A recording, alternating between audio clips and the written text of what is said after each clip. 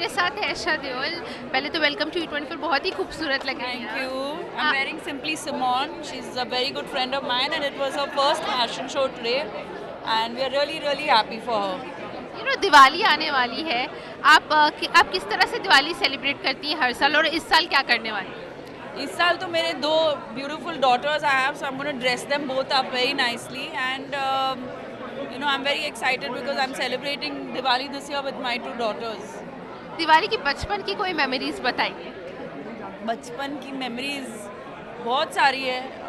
बचपन की मेमोरीज रास्ते पे लड़ी लगाना और लॉट ऑफ़ मस्ती we to do but now it's time for my kids to enjoy and I do मस्ती विद देम आपको कार्ड्स खेलना पसंद है दिवाली के नहीं मुझे कार्ड्स खेलना आता नहीं है।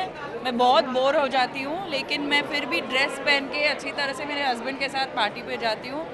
और जितना जल्दी हो सके वहाँ पे उन्हें निकालने की कोशिश करती हूँ। दिवाली में किस तरह के कपड़े पहनना आपको अच्छा लगता है? इंडियन ट्रेडिशनल वेरी नाइस अच्छा आप अपनी आने वाले प्रोजेक्ट्स के बारे में अगर कुछ बता सकते Uh, अभी मैं बोल नहीं पाऊँगी क्योंकि it's I when the announcement comes you all know there something very exciting coming up you know आपको बेकर के रोल में काफ़ी पसंद किया बेकर के रोल में आपको हाँ, काफ़ी पसंद हाँ, किया गया था।